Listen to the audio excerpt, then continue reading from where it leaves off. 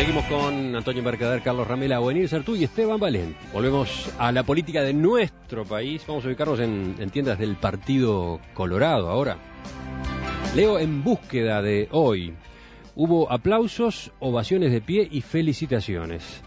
Las críticas al Frente Amplio, en especial al Partido Comunista, la defensa de la independencia del Poder Judicial y la preocupación porque el gobierno recorra el camino del quiebre de las instituciones fueron parte de algunos de los discursos que se escucharon en la noche del jueves 28 de febrero, el jueves pasado, en la convención del Partido Colorado. Pero, pese a ese respaldo, con el paso de las horas, varios de esos colorados que participaron en la actividad se mostraron en desacuerdo con lo que califican como visión temeraria, dicen algunos, o tremendista, dicen otros, o incluso que agitó fantasmas. Estamos hablando de la convención del Partido Colorado que había sido citada en un plazo de 48 horas para analizar la situación creada en torno a la Suprema Corte de Justicia, luego de que su sede fuera ocupada el viernes 15 por un grupo de personas para oponerse a que la jueza Mariana Mota fuera trasladada al ámbito civil, un hecho que generó críticas del Frente Amplio, que primero planteó citar a los integrantes de la Suprema Corte al Parlamento y luego decidió realizar un pedido de informes para que explicaran esa decisión. ¿Cómo vieron este hecho político? Yo espero la autocrítica pacientemente. No, yo creo que la convocatoria era correcta y el tema tratado más que correcto. O sea, todos tenemos la obligación, más allá que algunos pretendan mirar para el costado y negar la realidad, de señalar este, el deterioro de la democracia uruguaya y el ataque a las instituciones que algunos grupos, no todo el Frente Amplio, algunos grupos hacen en forma periódica. Ya hablamos en su momento de que una cosa es discrepar con respeto, como dijo el expresidente Vázquez, y otra cosa es agredir, descalificar e incitar a que se actúe contra la Suprema Corte de Justicia. No por cualquiera, sino por Lucía Topolansky, esposa de Mujica, por Mónica Javier, que es presidenta del Frente Amplio, por Castillo, que es vicepresidente del Frente Amplio. Eso es una realidad me parece totalmente acertado y correcto que el Partido Colorado, demuestre, señale y analice con preocupación un clima institucional que no es el más ajustado para el país. Como digo eso también, digo que no estuve en la convención, no participo, no soy convencional, pero escuché alguna locución o algún discurso que me pareció excesivo, demasiado dramático, demasiado este en un tono este, ya de, casi situación de golpe de Estado verificado en el país, cosa que tampoco me parece prudente y razonable. Todos la tenemos. nota recuerda un par de ejemplos, ¿no? La secretaria general del partido, diputada Marta Montaner, le reclamó al presidente Mujica que respete la democracia constituida desde hace muchos años con la sangre de los orientales, y luego comentó que sus hijos le habían preguntado si lo que se estaba viviendo por estos días se parecía a lo sucedido hace 40 años. ¿eh? febrero del 73, cuando Uruguay estaba a las puertas de una dictadura. Lamentablemente es así, hay un relacionamiento, dijo la diputada Montaner. Y el otro ejemplo, u otro de los que se puede manejar, es el del ex ministro de Ganadería, Martín Aguirre Zavala, quizás el que más sorprendió, dijo, confieso que tengo miedo por mi vida, pero si hay que ponerla, la voy a poner, porque muriendo también libertad. Yo con respecto a lo que dijo Marta Montaner, este, admito que puede haber diferencias de grado, pero también señalo que en aquel febrero nadie, nadie creía que las cosas eran tan graves, hasta el propio pueblo uruguayo no, no, no compareció a una convocatoria que hizo el presidente de la República, en aquel momento presidente constitucional, y todos sabemos cómo terminaron las cosas después. Hoy hay síntomas para alarmarse. Yo no sé si se puede comparar o no. Lo de ella puede ser un problema de grado. Lo que sí me parece que no estuvo acertado y no estuvo bien fueron las expresiones de Martín Aguirre Zavala, quien respeto y por quien tengo mucho afecto. Creo que llevó las cosas a un tono que en el Uruguay de hoy no corresponde todavía manejarlas así y que no es bueno porque si, si, exageramos las cosas y las llevamos a ese nivel, la situación, este, digamos, retroalimenta un clima innecesario. Pero creo que el Partido Colorado este, actuó correctamente porque lo señaló después Pedro Bordaberry claramente que la moción que terminó votando la convención no hacía referencia a esos aspectos ni a esas alusiones, o sea, eh, eh, son convencionales, dicen lo que piensan, yo puedo compartir lo que dicen o no, pero el Partido Colorado como partido lo que transmitió fue una preocupación que es legítima sin hacerse eco de esos excesos. ¿Otros comentarios? yo querría decir que me parece que el Partido Colorado tiene un un problema. Se salvó de la extinción, pero me parece que de lo que no se salva es del enquistamiento. Es decir, este, tiene una, un, techo muy bajo, este, en parte porque tiene una sola, una sola fuerza, una sola candidatura fuerte que, que prácticamente opaca todo lo demás, este, y esa candidatura tiene limitaciones. Este, de mucho tipo. Básicamente, este, el, perfil del candidato este, le, le, pone, le pone un techo. Entonces me parece que hay alguna gente que, en una suerte de desesperación política, este, hace afirmaciones espectaculares, este, realmente temerarias, temerarias y, y, y, a, veces un poco este, alucinadas, alucinadas, ¿no? Porque creo que además si alguien quisiese dar un golpe tal, lo más probable es que se olvidara de ir a buscar a, a Aguirre Zavala. Yo no creo que nadie se le haya pasado por la cabeza este, este, atacarlo a él, pero bueno, no importa. Está bien que alguien se promocione y diga, bueno, este, mátenme si quieren, pero realmente creo que no es el propósito de nadie atacar a, a, Aguirre Zavala. ¿Seguimos? Este, bueno, eh, yo me alegro que haya sectores del Partido Colorado como estos que se expresan a través de búsqueda, que tengan una reacción racional, una reacción con un mínimo de memoria, eh, entre otras cosas porque hay dos aspectos trágicos en la política de los cuales difícilmente se vuelva. Uno es la truculencia. Si la truculencia, eh, sobre todo en un país como Uruguay, no da nada, en ningún sentido. Y cuando la izquierda a veces actuó con truculencia, lo pagó. ¿ah? Esto es truculencia pura. Es decir, es no tener memoria de lo que era cuando había clima de golpe de Estado en el Uruguay en febrero del 73. Yo estaba fuera de mi casa como miles de personas porque te iban a buscar. Así que no es, no hay, no hay nada, no hay ni cerca cosa de ese tipo. Segundo, el otro lugar del cual no se vuelve es del ridículo. Es del ridículo. Es decir, para la gente común y silvestre de este país, ese tipo de mensaje es absolutamente lo que decía mi hermano izquierdista Sartú, que otro hermano, que sí, sí, pero este, este verdadero, que están enquistados cuando uno vive en un micromundo y se da manija dentro de ese micromundo, eh, es quien en realidad están disputando los despojos, porque el problema es que esa, ese, ese discurso no le llega a la gente, porque no tiene que ver con la vida de la gente. Ahora, eh, es la truculencia en la economía, la truculencia en la democracia, la truculencia en la constitución, la truculencia. Llega un momento que es como un micromundo totalmente separado. Ahora llegamos a la inmolación. Yo también lo aprecio. Yo estuve con, con eh, eh, me pareció un, tipo que jugó un papel importante, una persona. yo no sé cómo se puede llegar a ese nivel de cosas. O a la diputada Mercader, Montaner, no, Montaner, no, disculpe. perdón, hay uno solo. no, hay más, pero bueno. pero... ¿cómo podés eh, comparar con febrero 73? No tiene nada que ver y además no, no ayuda al país, no ayuda al Partido Colorado. Yo me tendría que callar porque con tal que digo que se ocupen ellos del Partido Colorado.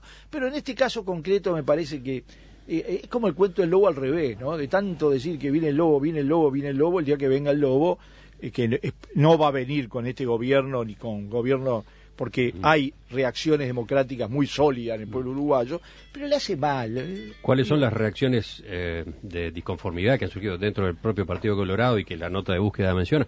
Por ejemplo, la del senador Pasqué en el comité ejecutivo de este lunes, eh, sin nombrar ningún caso en particular, dijo que se observaron algunos discursos que fueron tremendistas. Después declara el diputado Fernando Amado de Vamos Uruguay, que dijo que la comparación que hizo Montaner le pareció infeliz e incorrecta, se cae por su propio peso, no hay fantasmas, hay vestigios totalitarios de algunos grupos políticos que pocas veces llegan a configurar situaciones graves, pero si esto llega a ocurrir, hay que salirles oportuna y equilibradamente, agregó. Y después se menciona también a cinco convencionales de proba que cuestionaron algunos de los discursos. Una declaración firmada por Jean-Paul Tealdí, Alejandra Romeo, Adrián Yuri, Virginia Cáceres y Diego Baudo. Respaldaron la convocatoria de la convención, pero rechazaron algunos discursos que se convirtieron, dicen, en arengas desmedidas propias de una oposición irresponsable que no reflejan el sentir del pueblo colorado. Bueno, creo que la propia autocrítica que hace el Partido Colorado ya este, lo, digo, exime de más comentarios. Sí quiero decir que, digo que evidentemente hubo exageración en algunos dichos, no cabe ninguna duda. Creo que el propio Bordaberry salió a aclararlo y a decir que eran opiniones de los convencionales y ya se sabe que en una convención la gente se exalta, se crea ese microclima de a ver quién sube más la apuesta, quién sube más la apuesta y termina, terminan estas cosas. Eh, eh, de todas maneras, digo, creo que si el episodio sirve para algo, es para marcar eh, lo que significó aquel ataque eh, abrupto, inesperado, este, eh, indebido que se hizo sobre la Suprema Corte de Justicia. De dos maneras. Este, con un asalto que grupos muy radicales de izquierda hicieron, ocupando la sede del Poder Judicial, cosa que no se había visto en el país, este, yo creo que muchos años. No recuerdo un episodio similar, que se hubiera ocupado un poder del Estado en una actitud de protesta una especie de patota que llegó allí este, a presionar y a los gritos y a insultar a los ministros de la Suprema Corte, y después la actitud del frente, o por lo menos de algunos de sus voceros más importantes, descalificando a la Corte, este, eh, diciéndole que servía a determinados intereses, el canciller eh, Almagro este, diciendo que los dinosaurios festejaban, lo que no impidió que inmediatamente se tomara el avión para el Parque Jurásico, es decir, para Cuba, ¿no? este, hablando de dinosaurios, este, ese tipo de expresiones, ese tipo de expresiones creo que hicieron mucho daño este, en el intento de avasallar, de tratar de intimidar, tratar de intimidar al Poder Judicial, cosa que es absolutamente inaceptable. Yo comparto plenamente la declaración de esos convencionales a quienes no conozco, que ponen las cosas en su justo término. Vamos a no exagerar, vamos a no comparar cosas que todavía no son comparables, vamos a no ser tremendistas, pero también tomo lo que ellos dicen al final evidentemente en el gobierno y en el Frente Amplio hay grupos, hay grupos que no tienen claro lo que es el respeto a las instituciones y a la Constitución. Y agrego, el problema es que esos grupos están en el entorno presidencial. Son el MPP y su aliado preelectoral, el Partido Comunista, que fue lo que Mujica utilizó para ganarle la interna story. Y ese grupo, lejos de estar en un segundo plano, todos sabemos que está compitiendo por el primer plano. Entonces, la preocupación legítima de los uruguayos, que no queremos ser otarios y no queremos mirar para el costado, ¿eh? y no queremos caer en aquel dicho, vinieron por los judíos y como era judío no me preocupé, vinieron por los... ¿eh? Como no era judío. Como, era, como no era judío, no, no me preocupé. Es un dicho de Bertolt Brecht. Claro, vinieron, vinieron, por, vinieron por los comunistas y como yo no era comunista no me preocupé vinieron por los católicos y como yo no era católico no me preocupé, cuando vinieron por mí no había nadie para que se preocupara. O sea, no quiero mirar para el costado y no quiero poner la posición cómoda, decir, está todo bien, estos son disidencias, hay que señalarlo con mucho cuidado. El, el, el, grupo totalitario del Frente Amplio, que quizás no sea mayoritario y no refleja posiciones muy claras y muy satisfactorias que han tenido Vázquez y Astori, por ejemplo, rodea al presidente de la República. Y el presidente de la República de alguna manera lo integra también. No hay que hay que reconocer que Mujica tiene un pragmatismo distinto y que Mujica tiene, en principio, yo le, le reconozco buenas intenciones, pero también hay que ver que tiene cada tanto arranques propios de esos fantasmas del pasado que lo siguen atormentando. No, no en vano el señor pasa por arriba de la Constitución en el tema de la ley de caducidad, desconociendo dos pronunciamientos, y no en vano va y dice hay que echar a Paraguay porque lo político prima por lo jurídico. Y no en vano hay otros muchos más ejemplos para poner. Entonces ahí está la preocupación. Hoy no hay golpe de Estado, hoy hay un gobierno legítimo, hoy hay un frente amplio que es demócrata, pero hay dentro del frente sectores que tienden a generar preocupación y no son aislados o menores. Vamos redondeando el tema. No, coincido, empezando por el presidente de la República. Como todos conocen mis diferencias y mis polémicas, lo hago con gran comodidad.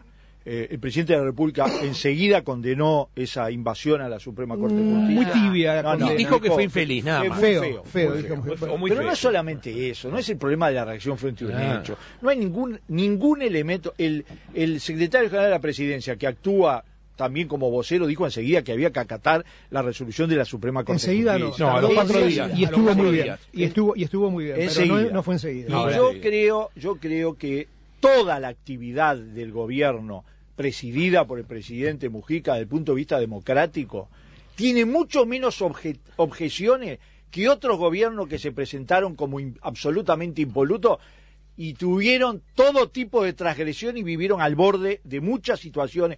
No hay palo, no hay situaciones de violencia, se tratan de evitar. Es yo, yo en eso, incluso te digo, superaron mis expectativas. Segundo, yo creo que también toda la izquierda uruguaya es un proceso, ¿no? Ya, yo no me voy a poner con la izquierda de los buenos y la izquierda de los malos. Nosotros tenemos diferencia con el Partido Comunista. El MPP ha hecho un proceso absolutamente interesante, serio, ¿Te profundo. que serio el proceso no, del lo ha hecho, lo ha hecho, con todo lo que cuesta eso. Y yo me quedo con una izquierda uruguaya que ha hecho ese proceso y está totalmente adentro del sistema democrático uruguayo. Dos más y cerramos. Perdón, yo lo que, lo que el proceso del MPP no es muy serio, digo, cuando encontrás a Marenales diciendo que es un gigante tonto y cuando tenés diputados del MPP que dicen que se ha convertido el MPP en una oficina de empleos y para hacer carrera y demás, yo no veo que esté haciendo un proceso serio, está en un proceso de ¿Estás hablando de la democracia está- o de los líos está internos? en- no, no, tú Creo- acabas de decir que el MPP es un grupo serio, te digo No, que está es en un que hizo proceso... un proceso serio. Y bueno, y tendrás un... No da la impresión No, que- no hablemos lo que pasa en el. Partido Nacional Bueno, en mucho- materia de, ca- de, es- de es mucho- ¿eh? más serio. De- Sartú, sí, sí, los pases son todos los días. Me parece que este tema, este tema particularmente de- de- del fenómeno de la- del pronunciamiento de la Suprema Corte y todo eso, nos plantea, más allá de, de lo, de lo que anecdótico, nos plantea problemas muy graves. ¿Cómo se resuelve la verdadera independencia del Poder Judicial? Es un problema, y es un problema en este gobierno y en los anteriores. La invasión de la Suprema Corte fue un hecho absolutamente menor, espontáneo, anecdótico. Absolutamente no es la posición del gobierno. Digo, No porque, es. porque claramente, Apoyado. con pesar hay que decirlo, pero tanto Mujica como Eleuterio Fernández Huidobro han dado infinitas señales de que quieren que eso se, e- ese tema se archive, se liquide. Este, no es lo que piensan otros sectores del Frente Amplio y no es lo que piensan los que están específicamente militando en el tema de derechos humanos. Pero atribuirle al Frente ese episodio, esa especie de, de entrada virulenta, no, es, no fue un objetivo del Frente Amplio ni del gobierno. Pero tampoco hubo una condena a eso. Y el problema, no, y el problema es que sí es, es sustancial, es cómo nosotros logramos tener un poder judicial independiente, porque resulta que, por ejemplo, frente al tema de la ley de caducidad, la Corte durante 20 años se pronunció diciendo que era constitucional, cambia el gobierno, cambian los vientos y la Corte se pronuncia diciendo que es inconstitucional. Hay un problema, es un problema este, a, a pensar seriamente, más allá de, la- de las pujas partidarias, cómo logramos que deje del poder político incidir, por lo menos en el grado en que lo hace, en las decisiones judiciales. Enseguida volvemos con el epílogo de esta tertulia. Vamos cerrando la tertulia de hoy. Sí. Pero aprovechamos los segundos que quedan para incorporar algunos otros temas. Sí, Bien la- breves los Mi preocupación, dentro de 15 días se reúnen los cancilleres en la OEA este, para determinar si le rebajan el presupuesto y si desmantelan eh, la Relatoría de Libertad de Expresión, que depende de la Comisión de Derechos Humanos de la OEA. Este es un ataque que está haciendo Venezuela y que está haciendo Ecuador, apoyado nada menos que por Nicaragua y por Bolivia, es decir, los grupos del ALBA, este, para sacarle fuerza a la Comisión de Derechos Humanos y para sacarle fuerza a la Relatoría de la Libertad de Expresión, que ha condenado los continuos ataques que se hacen a la prensa en esos países, particularmente en Venezuela y en Ecuador. Esperamos que la posición que lleve Uruguay a esa reunión sea la de defender, como dice el gobierno, los derechos humanos y la libertad de expresión. Esteban. Bueno, eso más que un telegrama fue un papiro, pero eh, yo voy a hacer una reflexión muy breve, pero muy dolida de lo que está pasando en Italia, ¿no? Es decir, Italia está en una la, la, tormenta perfecta, la peor situación económica de la posguerra, luego de la redistribución de la riqueza más espectacularmente regresiva que ha tenido el país desde que se llevan registro, tiene una situación política de paralización total porque no puede armar gobiernos que no sean antinatura, tiene 30% de votos para Berlusconi. Y 30 Presidente- casi para Pepe Grillo, ¿no? eh, Que eso no, es- 25, Pepe, bueno, 25. pero eso es impresionante. Y eso es producto de una sociedad que se ha ido degradando bajo la mirada muchas veces indiferente y sobre todo apegada al poder de la izquierda y del centro izquierda. Ramela, el último telegrama porque Sartú tuvo que irse. Tengo el tiempo de Sartú también. bueno, no, no. No es tu entre hermano. no hacemos No nada. es tu hermano. Yo quería este, simplemente señalar para un análisis posterior la encuesta que se conoció anoche donde este, la empresa Cifra sostiene que los uruguayos, el 57% apoyan lo que es el equipo económico de la línea Story, digamos, con Lorenzo como ministro, y el no me quiero equivocar, once. pero es el 11, ¿no? Pero sí, esa la leí muy bien yo. Ocupa el, eh, apoya el equipo a la OPP. Creo que este, más allá de otro análisis, es un mensaje muy claro para el presidente Mujica, porque nadie puede negar que el equipo de la OPP es el equipo de los asesores de Mujica que él este, acompaña, fogonea y le da lugar y espacio. Esperemos que a partir de estos datos la economía uruguaya vuelva a la sensatez de una conducción única. Pero hay dos equipos entonces. Bueno, por lo menos para la prensa sí. Sí, es, una diferencia que se da en- entre los votantes de todos los partidos, incluso dentro del Frente Amplio. ¿no? El equipo Astor y Lorenzo, entre los Frente Amplistas, los votantes Frente Amplistas, recoge el 64%, mientras el equipo OPP, digamos, recoge 14%.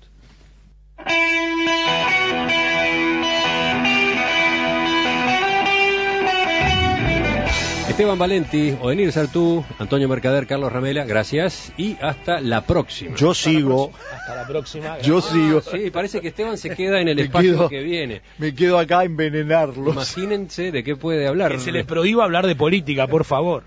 Este, creo, sí, se supone que es por otro motivo, ¿no? Ah, no sé, me invitaron. Viajes o algo así.